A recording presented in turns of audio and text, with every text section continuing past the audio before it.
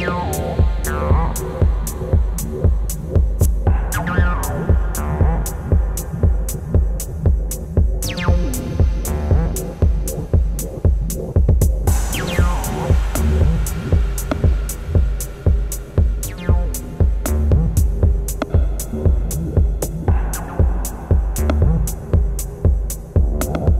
the only truth that matters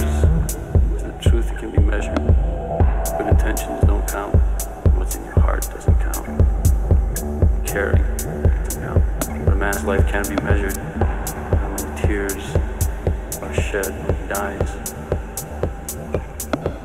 It's because you can't measure them. It's because you don't want to measure them. Doesn't mean it's not real.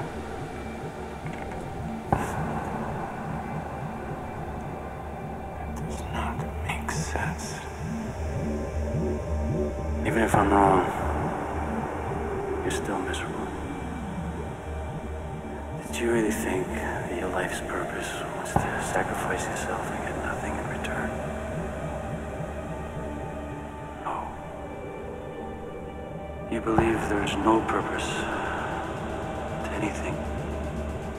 Even the lives you save, you dismiss. You turn the one decent thing in your life into tainted.